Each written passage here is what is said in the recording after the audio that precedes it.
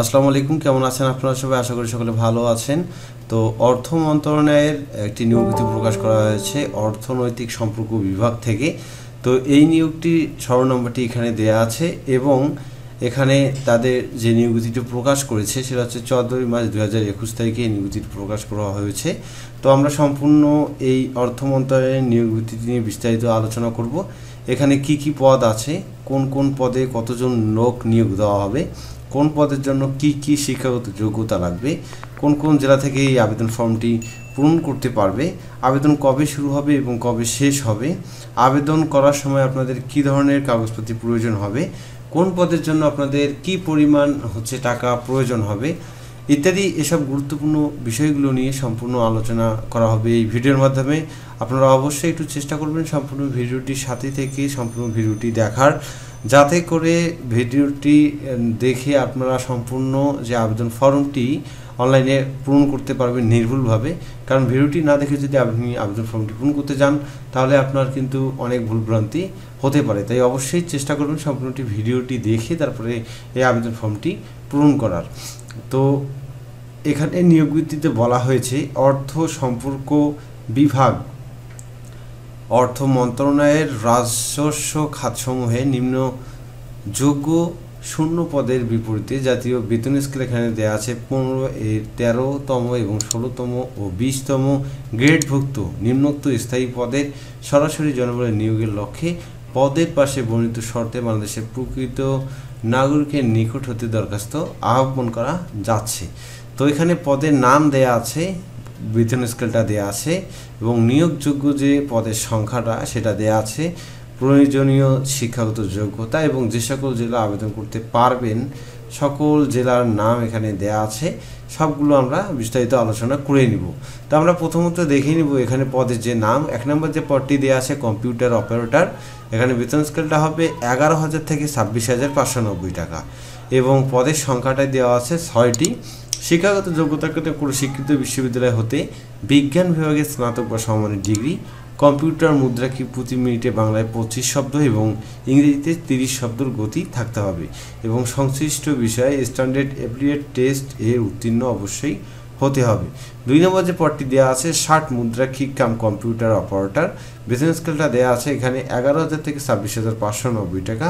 পদ সংখ্যা চারজনের শিক্ষাগত যোগ্যতা দেওয়া আছে স্বীকৃত বিশ্ববিদ্যালয়তে স্নাতক বা সমানের ডিগ্রি এবং সাত লিপিতে সর্বনিম্ন গতি প্রতি মিনিটে ইংরেজিতে শব্দ সোয়াত্তর এবং বাংলায় পঁয়তাল্লিশ শব্দ থাকতে হবে।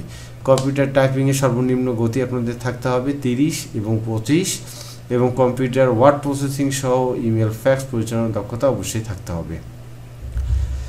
তিন নম্বর যে পদটি দেওয়া আছে অফিস সহকারী কাম কম্পিউটার মুদ্রাক্ষিক বেতন স্কেলটা দেওয়া আছে নয় হাজার তিনশো থেকে বাইশ হাজার চারশো নব্বই টাকা, পদ সংখ্যা ছয় জনের। স্বীকৃত বোর্ড হতে উচ্চ মাধ্যমিক সার্টিফিকেট এসএসসি বা সমান পরীক্ষায় উত্তীর্ণ হলেই হবে। কম্পিউটার টাইপিং এ ইংরেজিতে বিশ এবং বাংলায় বিশ শব্দ থাকতে হবে। কম্পিউটার প্রশিক্ষণ প্রাপ্ত এবং ইমেল ফ্যাক্স ইত্যাদি যে চালানোর যে দক্ষতা অবশ্যই থাকতে হবে। চার নম্বর যে পদটি দেওয়া আছে data entry operator business scale নয় হাজার তিনশো থেকে বাইশ হাজার চারশো নব্বই টাকা, পদ সংখ্যা একজনের এখানে শুধুমাত্র আপনারা উচ্চ মাধ্যমিক সার্টিফিকেট এসএসসি পাস করলে আবেদন করতে পারবেন, সাথে যে কম্পিউটার দক্ষতাটা অবশ্যই থাকতে হবে। পাঁচ নম্বর যে পটটি দেওয়া আছে অফিস সহায়ক। এখানে বেতন স্কেলটা দেওয়া আছে আট হাজার দুইশো পঞ্চাশ থেকে বিশ হাজার দশ মানে দশ টাকা, পদ সংখ্যা আঠারো জনের। কোন স্বীকৃত বোর্ড হতে মাধ্যমিক স্কুল সার্টিফিকেট বলতে গেলে শুধুমাত্র এসএসসি পাস করলে আপনারা এই পদের জন্য আবেদন ফর্মটি পূরণ করতে পারবেন। তো এক থেকে চার নম্বর পদের জন্য যারা আবেদন করতে পারবেন, তাদের নামগুলো আমি জেলাগুলোর নাম বলে দিচ্ছি। সেটা হচ্ছে ঢাকা, গাজীপুর, মানিকগঞ্জ, নারায়ণগঞ্জ, নরসিংদী, ফরিদপুর, সৈয়দপুর, কিশোরগঞ্জ। টাঙ্গাইল, ময়মনসিংহ, জামালপুর, চট্টগ্রাম বান্দরবান পার্বত্য জেলা কক্সবাজার, চাঁদপুর, কুমিল্লা, খাগড়াছড়ি পার্বত্য জেলা, ফেনী, লক্ষ্মীপুর, নোয়াখালী রাঙ্গামাটি পার্বত্য জেলা, সরি সিরাজগঞ্জ চাপেনবঙ্গ বগুড়া, দিনাজপুর, গাইবান্ধা, লালমনিরহাট, নীলফামারী, পঞ্চগড়, ঠাকুরগাঁও, খুলনা ঝিনাইদহ সাতক্ষীরা পটুয়াখালী ঝালকাঠি, সিলেট, মৌলভীবাজার ও হবিগঞ্জ জেলা থেকে আবেদন করা যাবে না। তবে শারীরিক প্রতিবন্ধী যারা আছেন, তারা সকল জেলাতে আবেদন করতে পারবেন। পাঁচ নম্বর পদের জন্য কয়েকটি জেলা দেওয়া আছে। সেটা হচ্ছে ঢাকা, গাজীপুর, মানিকগঞ্জ নারায়ণগঞ্জ, ফরিদপুর, কিশোরগঞ্জ, জামালপুর, শেরপুর, চট্টগ্রাম, বান্দরবান, পার্বত্য জেলা, কক্সবাজার ব্রক্ষণবাড়িয়া খাগড়াছড়ি, পার্বত্য জেলা, ফেনী, লক্ষ্মীপুর, নোয়াখালী, রাজশাহী, পাবনা সিরাজগঞ্জ নওগাঁ নাটোর, চাঁপাইনবাবগঞ্জ, বগুড়া, রংপুর, দিনাজপুর, ঠাকুরগাঁও, খুলনা, ঝিনাইদহ, মাগুরা, বাগেরহাট, কুষ্টিয়া, ভোলা, বরগুনা, পটুয়াখালী, সিলেট মৌলভীবাজার সুনামগঞ্জ ও হবিগঞ্জ থেকে আবেদন করা যাবে না। ইদি শারীরিক প্রতিবন্ধী যারা আছেন, তারা আবেদন ফর্মটি পূরণ করতে পারবেন। তো এই যে জেলাগুলোর নাম আমি এতক্ষণ ধরে বললাম, এই জেলাগুলো শুধুমাত্র আবেদন ফর্মটি পূরণ করতে পারবেন। তাছাড়া এই জেলাগুলো ব্যতীত যারা আছেন, তারা কিন্তু আবেদন ফর্মটি পূরণ করতে পারবেন না।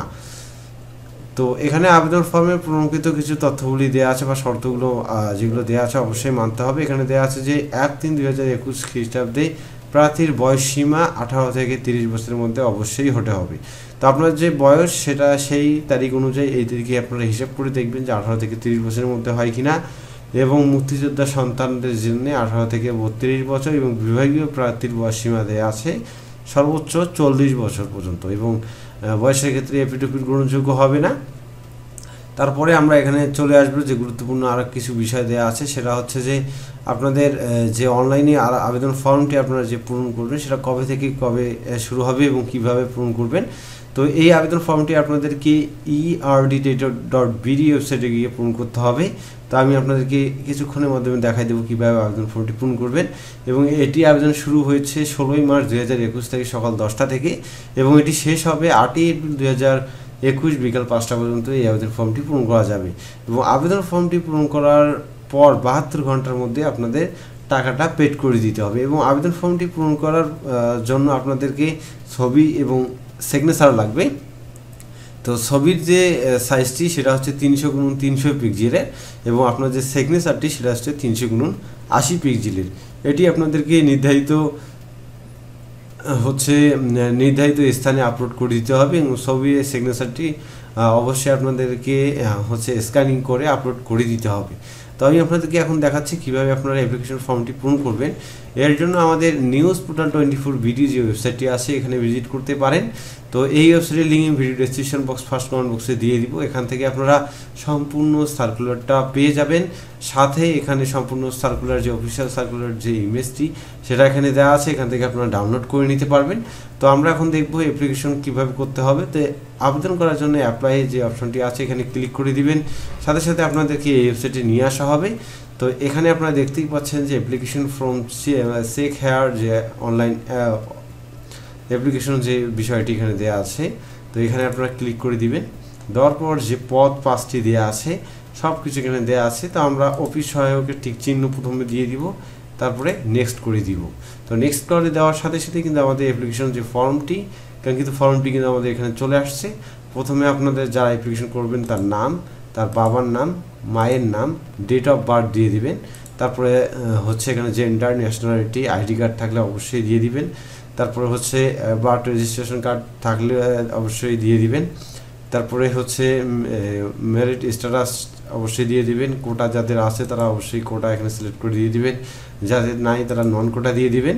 এখানে আপনাদের যে গ্রামের অ্যাড্রেসটা বা আপনার যেখানে থাকেন, সেই পারমানেন্ট অ্যাড্রেসটা আপনারা দিয়ে দেবেন এবং পারমানেন্ট অ্যাড্রেস এবং হচ্ছে আপনাদের যদি কোনো পরিবর্তন থাকে, তাহলে অবশ্যই আপনাদের প্রেজেন্ট এবং পারমানেন্ট যদি আপনার পরিবর্তন থাকে, তাহলে অবশ্যই আপনারা হচ্ছে বিষয়টা খেয়াল রেখে দিয়ে দিবেন এবং প্রেজেন্ট অ্যাড্রেস এবং পারমানেন্ট অ্যাড্রেস যদি ঠিক থাকে, তাহলে অবশ্যই এখানে একটা টিক চিহ্ন দিয়ে দিলেই হয়ে যাবে। এখানে ফোন নাম্বারগুলো দিয়ে দিবেন এবং এখানে আপনার যে জিমেল অ্যাড্রেসটা আছে, সেই ইমেল অ্যাড্রেসটা দিয়ে দিবেন। এখানে আপনার শিক্ষাগত যোগ্যতা যেগুলো দেওয়া আছে, সেই শিক্ষাগত যোগ্যতাগুলো উল্লেখ করবেন এবং এখানে একটি কোড দেওয়া আছে সেম কোডটা আপনারা এখানে কপি করে বলতে কপি করে লিখে দিবেন, যাতে কোনো করে আপনাদের এই কোডটা ভুল না হয়। দিয়ে পরবর্তীতে আপনার এখানে টিক চিহ্ন দিয়ে নেক্সট করে দিবেন। পরবর্তীতে নির্ধারিত স্থান, সেখানে আপনাদের ছবি এবং সিগনেচারটার কথা বলেছিলাম। ছবির ক্ষেত্রে তিনশো উনত্রিশশো পিক্সেল এবং সিগনেচারের ক্ষেত্রে তিনশো আশি পিক্সেলের ছবিটা আপনারা আপলোড করে পরবর্তীতে আপনাদের যে আবেদন ফর্মটি, এটা কিন্তু অবশ্যই ডাউনলোড করে রেখে দেবেন। পরবর্তী পরীক্ষার জন্য আপনাদেরকে এই আবেদন ফর্মটি সঙ্গে নিয়ে যেতে হবে। তো এখানে আর যে বিষয়টি আপনাদের কত টাকা ফি লাগবে সেটি আপনাদেরকে জানাই দিই। এখানে দেওয়া আছে যে পদের জন্য, প্রতিটি পদের জন্য বলতে এক থেকে চার নাম্বার পদের জন্য একশো টাকা আপনাদেরকে দিতে হবে এবং টেলিটক সিমের চারশো বারো টাকা, সব মিলে একশো বারো টাকা আপনাদের আবেদন করতে প্রয়োজন হবে। এবং এই আবেদন ফর্মটি যে আরেকটি পদ দেওয়া আছে, পাঁচ নম্বর যে পদটি, এই পাঁচ নম্বর পদের জন্য আপনাদেরকে টাকা লাগবে হচ্ছে পঞ্চাশ টাকা এবং চার, ছয় টাকা সহ মোটে ছাপ্পান্ন টাকা আপনাদের প্রয়োজন পড়বে। তো এই হচ্ছে আপনাদের আবেদন প্রক্রিয়া এবং আবেদনের যে টাকাটার বিষয়টি আপনাদেরকে জানাই দিলাম। এখন আরেক কিছু বিষয় দেওয়া আছে যে আপনাদের পরীক্ষার সময় কি কি কাগজপত্রগুলো প্রয়োজন হবে। তো এখানে মৌখিক পরীক্ষার সময়, শিক্ষাগত যোগ্যতা, অভিজ্ঞতা, পরীক্ষার কোটা সংক্রান্ত সকল সনদপত্র মৌলিক প্রদর্শন করতে হবে এবং পুরনকৃত অ্যাপ্লিকেশন ফর্মটি প্রিন্ট করে সঙ্গে নিয়ে আসতে হবে। সনদপত্রে অ্যাকসেপ্ট ফটোকপি দাখিল করতে হবে এবং আবেদনকারী সংশ্লিষ্ট জেলা স্থায়ী বাসিন্দা প্রমাণক হিসাবে ইউনিয়ন পরিষদ যে বিষয়গুলো থাকে আপনাদের সেগুলো থেকে আপনারা অবশ্যই সনদপত্রটি দাখিল করবেন এবং উক্ত তথ্য সময় ভিডিওর ভিত্তিতে প্রা- প্রাথমিক চূড়ান্ত নিয়োগ প্রদানের পূর্বে আহ, প্রার্থীর চারিত্রিক হচ্ছে প্রতিবেদন সম্পন্ন করা হবে। প্রার্থী কদিন করে প্রদত্ত কোনো তথ্য বা দাখিলকৃত কাগজ জাল বা মিথ্যা বা ভুয়া প্রমাণিত হলে তার বিষয়তে অবশ্যই আহ, আইনগত ব্যবস্থা তারা গ্রহণ করবে এবং আবেদনকারী মুক্তিযোদ্ধা শহীদ মুক্তিযোদ্ধা কন্যা সংস্থান বা প্রতিবন্ধী এসব যে হয়ে থাকে তাদের জন্য ইউনিয়ন পরিষদের চেয়ারম্যান বা তাদের যে নিকটতম যে বিষয়গুলো আছে এগুলো আপনারা থেকে ওখান থেকে আপনারা স্মরণপত্রটি দাখিল করে সেখানে আপনারা নিয়ে যাবেন। যদি কোনো প্রার্থী বাংলাদেশের নাগরিক না হন কিংবা বাংলাদেশের নাগরিক নন, এমন কোনো ব্যক্তি বিয়ে করে বা করার জন্য প্রতিশ্রুতি হন কিংবা কোনো ফৌজদারি আদালতে যদি কর্তৃপক্ষ নৈতিক স্থলে অভিযোগ দ্বন্দ্ব অবস্থা হন এবং সত্যসাহিত্য প্রতিষ্ঠানে কর্তৃপক্ষ চাকরি হতে বরখাস্ত থাকেন, তো সেই বিষয়গুলো আপনারা অবশ্যই খেয়াল রাখবেন, কারণ এই বিষয়গুলো করলে আপনারা এই চাকরির জন্য বিবেচ্য হবেন না। তো এটি হচ্ছে সম্পূর্ণ সার্কুলারটি ছিল। আমি আশা করেছি যে সম্পূর্ণ সার্কুলারটি আপনাদেরকে আমি বুঝাইতে পেরেছি। তবুও সম্পূর্ণ সার্কুলারটি দেখার জন্য অবশ্যই আমাদের নিউজ পুরা টোয়েন্টি ফোর ভিডিও ওয়েবসাইটে ভিজিট করবেন। এফ থ্রি লিঙ্ক আমি video description box first comment বক্সে দিয়ে দেবো। এখান থেকে আপনার সম্পূর্ণ সার্কুলারটি দেখে নিতে পারবেন। তো অবশ্যই ভিডিওটি যদি ভালো লাগে, অবশ্যই লাইক দিয়ে দিবেন। কমেন্ট করে জানাবেন আপনার কোনো মূল্যবান মতামত থাকলে। আর অবশ্যই চ্যানেলকে সাবস্ক্রাইব করে পাশে থাকা আপনি বাজিয়ে দিতে পারেন, যাতে করে এই ধরনের সকল আপডেট সঙ্গে এডুকেশন যে নিউজগুলো আমি দিয়ে থাকি, সবাইকে আপনি পেয়ে যান। ধন্যবাদ সবাইকে, ভালো থাকবেন, সুস্থ থাকবেন, আল্লাহ হাফিজ।